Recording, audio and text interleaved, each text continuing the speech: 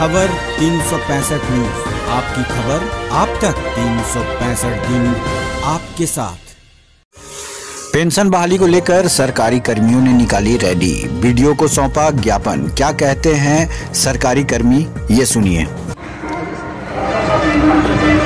हम सभी शिष्टमंडल एनपीएस कर्मी दारू प्रखंड के शिक्षा विभाग स्वास्थ्य विभाग ब्लॉक कर्मी हमारे बैंक कर्मी सब आज शिष्टमंडल, एक जिला से प्रस्तावित कार्यक्रम एन एस बढ़ाए के देश स्तरीय प्लेटफॉर्म का जो आज एक कार्यक्रम है कि सभी प्रखंड में आज हम लोग एक साथ, एक समय में प्रखंड विकास पदाधिकारी, संचल पदाधिकारी के द्वार आकर पूरा शिष्टमंडल, एनपीएस कर्मी, हम लोग प्रखंड विकास पदाधिकारी को एक ज्ञापन सौंप रहे हैं। एक मुख्यमंत्री के पास एक संवाद ज्ञापन के रूप में भेज रहे हैं, जिसमें हम लोगों के पास माननीय मुख्यमंत्री हेमंत सोरेन जी का एक एजेंडा मैनिफेस्टो आया था कि हम आपका पहले सुनेंगे एनपीएस को हटाएँगे ओपीएस में सबको लाएँगे।